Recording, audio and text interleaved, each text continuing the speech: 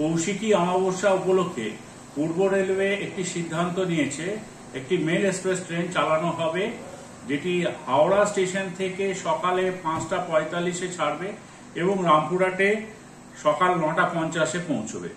এই ট্রেনটি, এই মেল এক্সপ্রেস ট্রেনটি চোদ্দ তারিখ, পনেরো তারিখ এবং ষোলো তারিখ, এই তিন দিনই হাওড়া থেকে ছাড়বে। এটি মেল এক্সপ্রেস ট্রেন।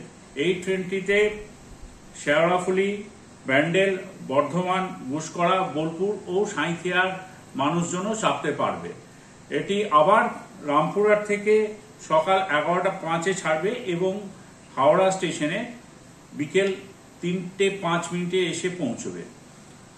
কৌশিকী অবস্থায় যে ভিড় আমরা প্রতি বছর দেখে থাকি, সেই কথা মাথায় রেখে পূর্ব রেলের এই সিদ্ধান্ত। আশা করি আপনারা এই সুযোগ সদ্ব্যবহার করবেন।